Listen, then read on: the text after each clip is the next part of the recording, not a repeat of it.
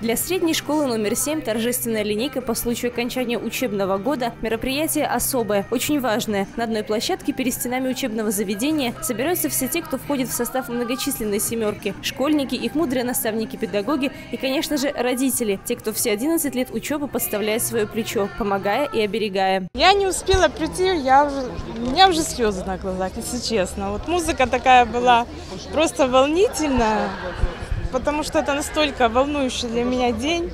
У меня одна дочка, как бы для меня это как бы самое святое в жизни, самое родное. Особенно волнителен этот этап для одиннадцатиклассников. Не за горами взрослая жизнь, непростая, насыщенная, но очень интересная. В этом году в большое плавание седьмая школа отправляет 84 выпускника. Среди них победители областных и республиканских олимпиад по учебным предметам, талантливые артисты, художники, спортсмены. Все эти ребята мечтатели. Они верят в свою мечту и надеются, что все обязательно получится. Не знаю даже, как описать, то есть одновременно и радостно, и грустно как-то не знаешь дальше, как будет, как э, расстаться с ребятами, классного руководителя больше не увидеть. Очень хотелось бы стать врачом. Э, я постараюсь сделать все усилия для преодоления этой цели.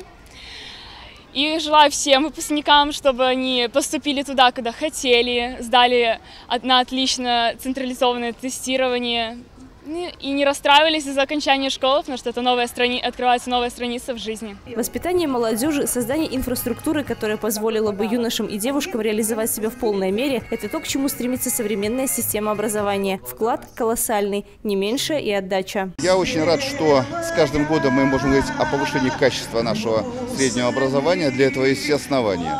Это постоянное совершенствование материальной базы и, конечно, педагогические традиции, которые активно в Бресте продолжаются и внедряются новые формы обучения. А то, что приоритет системы э, образования с точки зрения финансирования, это уже довольно известный факт. Но я хочу детализировать, опять же, на примере этой школы. Да? Э, по этому году в эту школу вкладывается порядка миллиона долларов. 2 миллиона белорусских рублей. Здесь много составляющих. Это содержание, собственно, школы, да, Э, заработная плата педагогам, совершенствование материальной базы. У нас таких школ в городе 50. Поэтому вы представляете, э, какие приоритеты бюджетные есть в городе. Э, каждый ученик городскому бюджету тоже обходится недешево.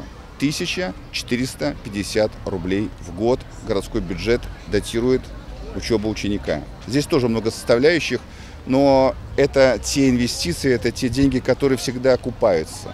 И очень важно, чтобы ребята, получившие у нас в Бресте среднее образование, все-таки целью своей жизни ставили дальнейшую самореализацию во благо нашего города, во благо всей Брещины. Почетным гостем праздника стал мэр города Александр Рогачук. В своем обращении к молодежи председатель горосполкома особенно остановился на значимости седьмой школы в системе образования областного центра. Педагогический коллектив учреждения и администрация идут в ногу со временем, постоянно совершенствуя учебный процесс. Эта школа, не являясь э, гимназией, показывает просто образец э, той планки образовательного процесса, который сейчас соответствует современным вызовам. Э, школа первая приступила к изучению китайского языка как основного языка для школьника. То есть она видит перспективу. Э, школа, которая не увлекается сиюминутной конъюнктурой и не гоняется за какими-то лингвистическими пристрастиями. То есть есть у них 75% Э, немецкого языка в объеме преподавания, они держат эту планку и хорошие очень результаты. Словно звонкий колокольчик прозвучал последний звонок. Позади остались интересные уроки и веселые перемены. Впереди большая, пока еще неизведанная дорога, по которой эти юноши и девушки должны пройти так же красиво и изящно, как и танцевальные шаги последнего школьного вальса. Я уже 23 года провожаю в путь детей, но каждый год как будто бы в первый раз, поскольку вместе с выпуском уходит частичка души. Поскольку ты отдаешь то, что тебе очень ценно, дорого и веришь, что это приумножится, что твои дети превзойдут тебя. И я очень рада, что наши дети являются победителями республиканских олимпиад, что наши дети достойные граждане, активные члены БРСМ, активно занимаются волонтерским движением. Среди выпускников столько звездочек, 84, они каждая звезда. Верю, что их дело приумножит славу нашего города. Анастасия Ноздрин, Плотницкая, Андрей Щербантон, Луговкин, телекомпания БУК ТВ.